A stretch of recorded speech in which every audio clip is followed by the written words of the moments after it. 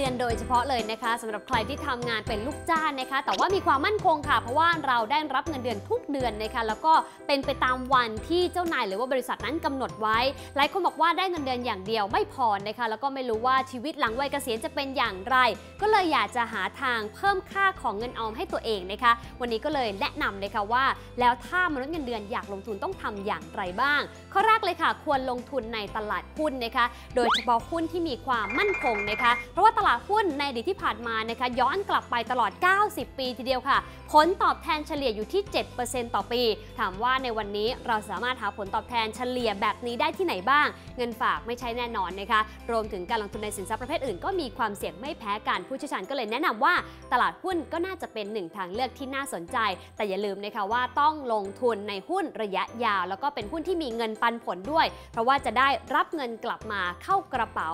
ทุกๆ ไตรมาสทุกๆ ครึ่งปีหรือว่าทุกๆ ปีค่ะ 2 ก็คืออย่าเลือกหุ้นที่มีความผันผวนมากจนเกินไปนักนะคะ เพราะว่าเราเป็นมนุษย์เงินเดือนชื่อก็บอกอยู่แล้วนะคะว่าต้องทำงานทุกวันอย่างน้อยจันทร์ถึงศุกร์นะคะ ถ้าเราเลือกหุ้นที่มีความเสี่ยงสูงขึ้นลงวันหนึ่ง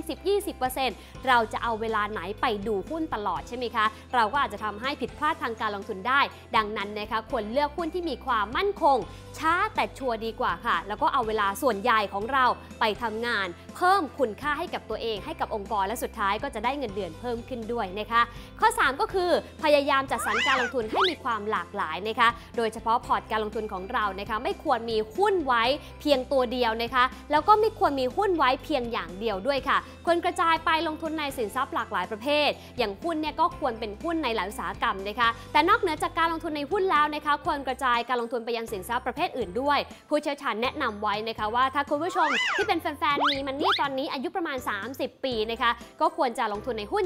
70%แล้วก็พันธบัตรหรือว่าตราสารหนี้ที่มีความเสี่ยงต่ำหน่อยประมาณสัก 30%นะคะแต่ถ้าใครอยากกระจายการลงทุนมากกว่านี้ค่ะ ข้อ 4 ก็คือควรลงทุนใน trust เพื่อการลงทุนในสังหาริมทรัพย์นะคะหรือที่เรียกกันสั้นๆว่า REIT นั่นเองค่ะ